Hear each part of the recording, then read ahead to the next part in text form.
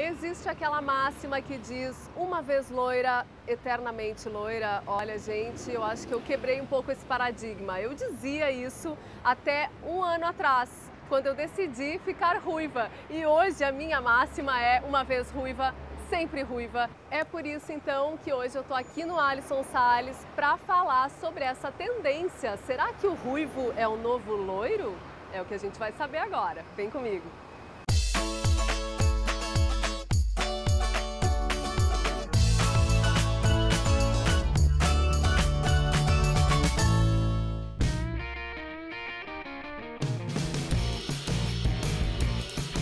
Olá pessoal, eu sou Alisson Salles e eu que cuido da Maísa, mais precisamente dos cabelos da Maísa.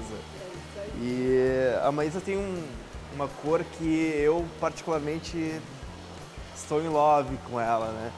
Que é o, o ruivo. O ruivo hoje é a nossa cor, né, Maísa? É a cor, cor que nós escolhemos para ela. A Maísa já foi loira, mas hoje nós estamos super focados no ruivo.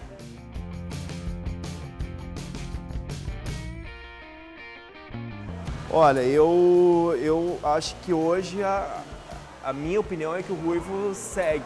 Segue a temporada de verão tranquilamente e acredito que vá o 2017 inteiro, sem, sem, sem dúvidas, né? Antigamente o Ruivo era muito utilizado só na, na, na época fria, né? Principalmente inverno gaúcho, super rigoroso, usávamos mais o Ruivo. Esse ano o Ruivo transcendeu, ele está combinando com o sol também, né?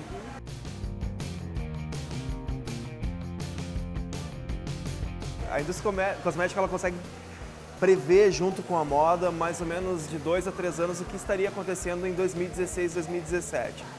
Baseado nisso, a indústria lançou uma gama gigantesca de nuances de ruivo, desde o ruivo mais frio, mais fechado, puxando para o violeta, até uma explosão de brilho que é o loiro, o ruivo quase um loiro, né?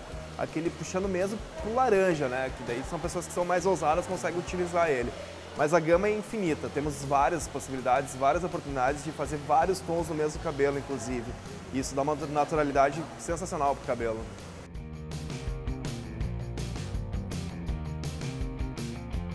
Então, esse também é outro mito, né? Eu não acredito nisso.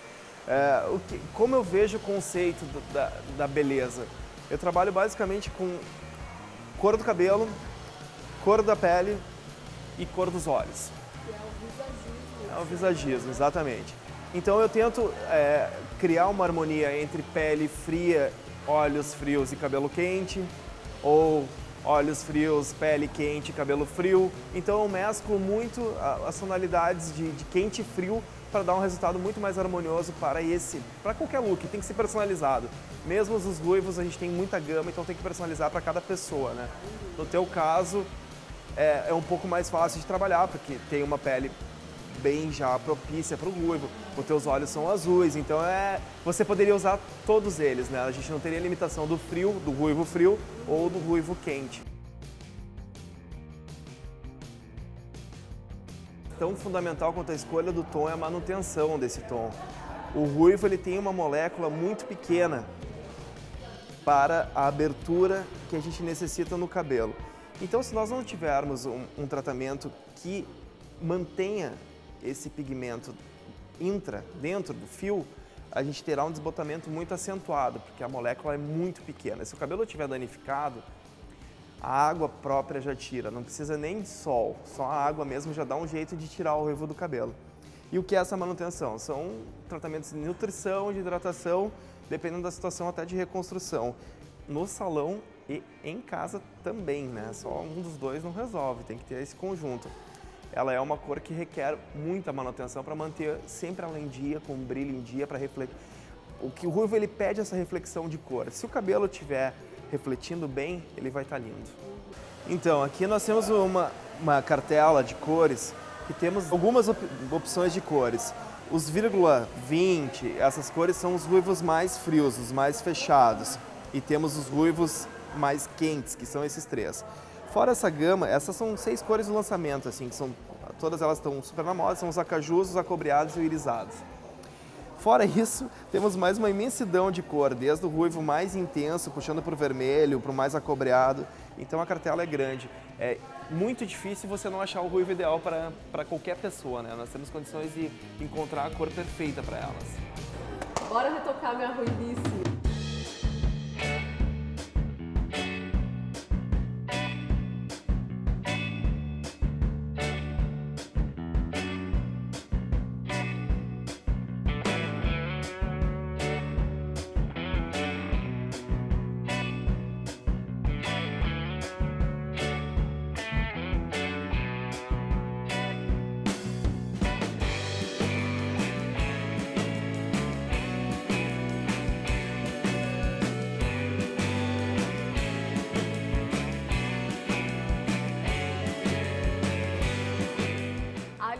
Obrigada. Mais uma vez amei meu cabelo.